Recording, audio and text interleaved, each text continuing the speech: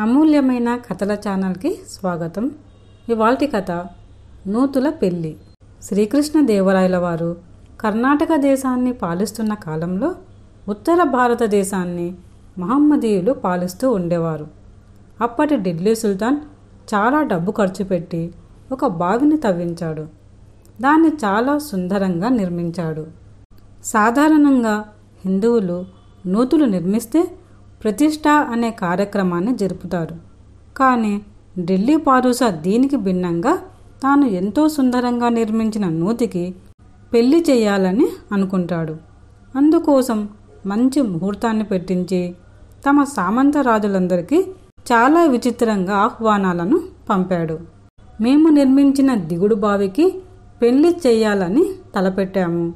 కాబట్టి మీ దేశంలోని బావులన్నింటినీ ఆ వివాహానికి పంపించండి అన్నది ఆ లేఖ సారాంశం.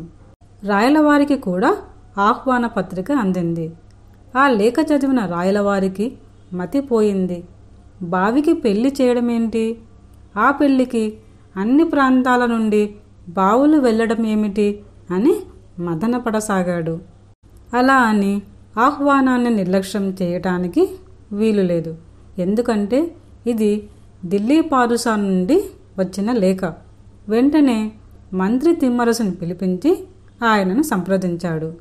ఆయన కూడా ఏ ఉపాయం చెప్పలేకపోయేసరికి రామకృష్ణుడికి కబురు చేశాడు. ఆ లేఖ గురించి రామలింగుడికి అంతా చెప్పాడు. ఆ లేఖను చదివిన రామకృష్ణుడు దీనికి జవాబు నేను చెప్తాను అంటూ ఇలా చెప్పాడు. పాదుషా వారు మీరు పంపిన ఆహ్వాన పత్రిక మాకు అందింది. దాన్ని చదివి మేము ఎంతో సంతోషించాము. కానీ మీరు కొత్తగా నిర్మించిన సుందరమైన బావి స్వయంగా ఇక్కడికి వచ్చి ఆహ్వానం పంపనందువల్ల మా బావులన్నీ చాలా కోపంగా ఉన్నాయి. కాబట్టి మీ బావుల్లో కనీసం ఒక్కటైనా స్వయంగా ఇక్కడికి విచ్చేసి వాటికి నచ్చజెప్పి వెంట పెట్టుకొని తీసుకొని వెళ్ళవచ్చు అని పారుష గారికి లేఖ రాయించి పంపారు. ఆ లేఖను చూసిన పాదుషా ఏమిటి? మానవుదులు వారి దేశానికి వెళ్ళి వారి బావులను తీసుకొని రావాలనా? ఇదెలా సాధ్యం? మనం వారికి పరీక్ష పెడుతూ పంపిన ఆహ్వానానికి వారు ఎంత చమత్కారంగా సమాధానమిచ్చారు.